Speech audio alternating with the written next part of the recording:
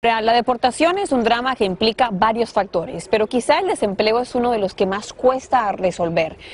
Y ese justamente es el desafío de más de 59 mil mexicanos que han sido deportados durante este gobierno.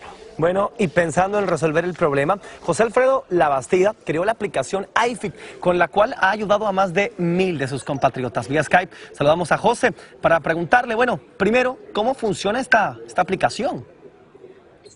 Eh, mira, es muy fácil. Lo que nosotros hacemos es a todos los, a todas las personas que regresan de los Estados Unidos y que son profesionales en su oficio, lo ponemos en la aplicación, lo geolocalizamos en la zona en la que él esté y automáticamente lo hacemos que millones de mexicanos lo vean para que puedan solicitarle un servicio y un trabajo y, y pues automáticamente autoemplearlo, ¿no?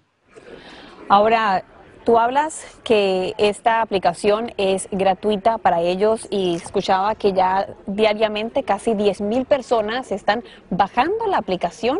¿Qué sientes tú al darte cuenta que estás cambiando vidas?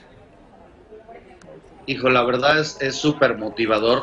Eh, la realidad es que mi socio y yo, Pepe Ramírez, hemos hecho eh, pues esto muy de corazón por todas estas personas, todos estos mexicanos que regresan de los Estados Unidos y es súper motivador, súper halagador y sobre todo algo que nos llena mucho en lo personal. Estamos mirando aquí la aplicación a través del teléfono eh, y Carlos ya la tiene en su. Exactamente, aquí, aquí ya la pude bajar y me gustaría que la cámara se enfocara aquí en el teléfono de Javi y es súper fácil utilizarla.